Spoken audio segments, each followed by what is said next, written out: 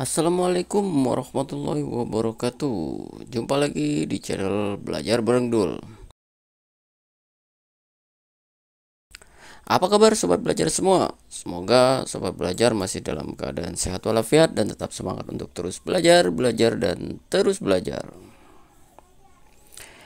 Oke pada kesempatan kali ini kembali hadir Bang Dul di channel ini untuk berbagi tutorial singkat tentang pemanfaatan teknologi informasi untuk membantu pekerjaan kita sehari-hari. Sebelum kita menuju video tutorialnya, saya persilahkan sobat belajar yang mungkin belum subscribe channel ini, saya persilahkan untuk subscribe terlebih dahulu dan nyalakan tanda lonceng untuk mendapatkan notifikasi video-video terbaru dari channel ini. Jangan lupa juga tinggalkan komentar positif serta share video yang dirasa bermanfaat. Langsung saja menuju video tutorialnya. Pada kesempatan kali ini kita akan membahas tentang pemanfaatan Microsoft Excel untuk membantu pekerjaan kita.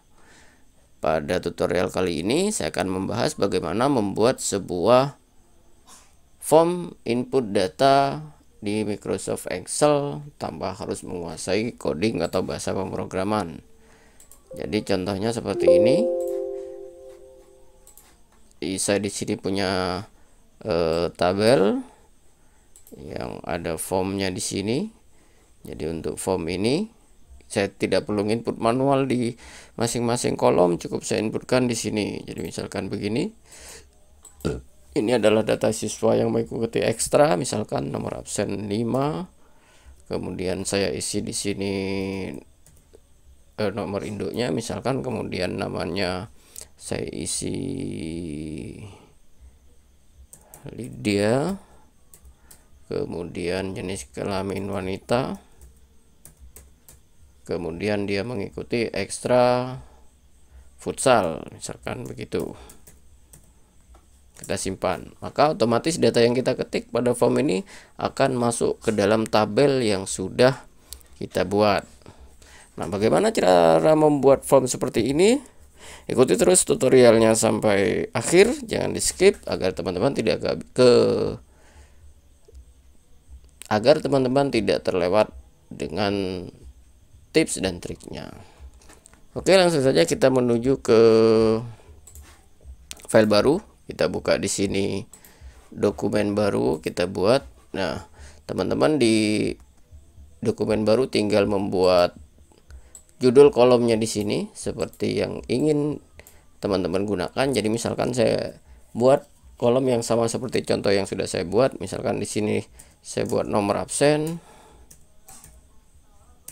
Kemudian saya buat di sini nomor induk siswa nama misalkan di sini saya ganti kelas atau uh, jenis kelamin aja tetap sama seperti tadi jenis kelamin. Kemudian di sini ekstra yang diikuti. Nah, ya atur dulu lebarnya.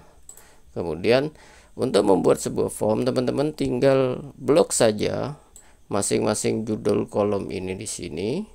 Kemudian setelah itu pilih format as table ini. Nah teman-teman tinggal pilih saja jenisnya seperti apa yang diinginkan. Likes medium atau dark saya pilih misalkan dark di sini yang warna biru. Nah maka akan eh, muncul tab tampilan pertanyaan seperti ini. Teman-teman klik pada my table has header karena memiliki header. Jadi klik saja oke. Okay. nah maka tabelnya akan terbentuk seperti ini. Kemudian langkah selanjutnya, teman-teman klik salah satu sel di sini pada tabel ini, jadi bisa di sini. Kemudian pilih file. Setelah itu pilih option. Kemudian eh, pilih teman-teman pilih quick access toolbar. Kemudian ini comment not in the ribbon. Setelah itu pilih tarik ke bagian bawah cari form. Nah setelah itu pilih add. Nah di sini karena saya sudah melakukan di sini muncul form di sini maka tekan OK. nah setelah ini terbentuk teman-teman tinggal klik di quick access ribbon ini form. Maka dia akan muncul form baru yang judulnya sama dengan header dari tabel-tabel teman lakukan tadi. Untuk mengisi datanya tinggal ketik saja di sini nomor absennya misalkan 3, kemudian klik lagi di form selanjutnya atau kalau teman pengen cepat tinggal uh, klik saja tombol tab pada keyboard. Tabs itu di bagian kiri atas biasanya di kalau teman-teman menggunakan keyboard itu di bawah angka satu paling kiri. Jadi tab itu di bawah escape.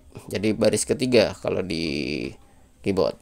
Tinggal tombol tab inputkan lagi nisnya misalkan begini tab lagi namanya di sini diisikan. E, misalkan Doni tab lagi jenis kelamin laki-laki atau pria. Tab lagi kemudian ekstra yang diikuti. Ekstranya misalkan uh, bola voli.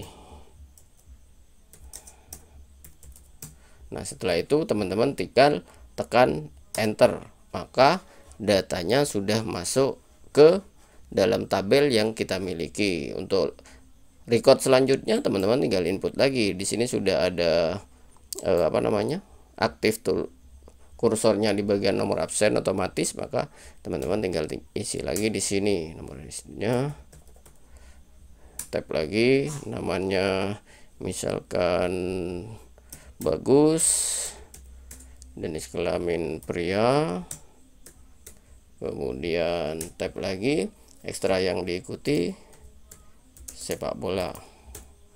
Kemudian tekan enter untuk menyimpan. Maka otomatis akan masuk ke dalam eh, kolom yang sudah kita miliki. Nah, kalau misalkan teman-teman sudah banyak melakukan pengisian di sini dan ternyata ada data yang ingin dihapus, teman tinggal tekan find preview ini.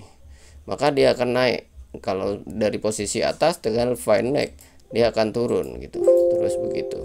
Nah, ini kalau posisi di atas di kolom ketiga kita find naik dia akan turun ke bawah. Kalau data ini ingin teman-teman hapus, tinggal tekan saja tombol delete yang ada di sini. Maka datanya akan terhapus. Nah form ini membantu kita mempermudah proses penginputan dan pencarian data lebih singkat. Semoga bermanfaat tutorial kali ini. Untuk teman-teman yang membutuhkan tutorial yang lain mungkin bisa request di kolom komentar. Jangan lupa share video ini jika dirasa bermanfaat. Terima kasih. Sampai jumpa di tutorial selanjutnya Wassalamualaikum warahmatullahi wabarakatuh.